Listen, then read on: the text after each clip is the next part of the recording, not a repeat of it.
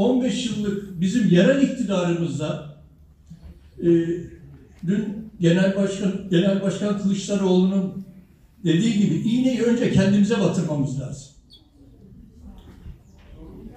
Biz Abi- biz biz biz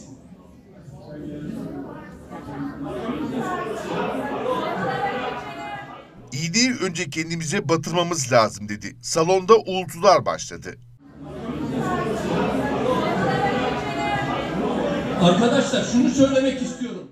CHP'li Adalar Belediyesi'nin deprem panelinde söz alan eski CHP yöneticisi Arif Aydın, 15 yıldır yerelde iktidarız. Belediye binamız eski ve yıkıp yapmamışız dedi.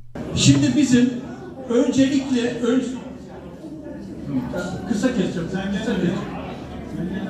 Öncelikle yapmamız gereken tek bir şey var.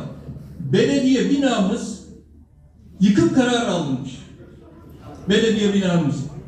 Ve hani bunu niye yıkmadık? Niye yapmadık? Orada birinci derece akrabalarımız var. 15 yıldır da biz yerelde iktidarız. Son 4 yılda Büyükşehir ve adada da iktidarız. Hocam anladın değil mi? CHP'nin 15 yıldır Adalar Belediyesi'ni yönettiğini belirten Aydın'ın konuşmasına tahammül edilemedi. İğneyi önce partisi CHP'ye batıran Arif Aydın'ın konuşmasına hem moderatör hem de katılımcılar müdahale etti. yıldır da biz yerelde iktidarız. Son 4 yılda Büyükşehir ve adada da iktidarız. Hocam anladın değil mi? Tamam. Yok.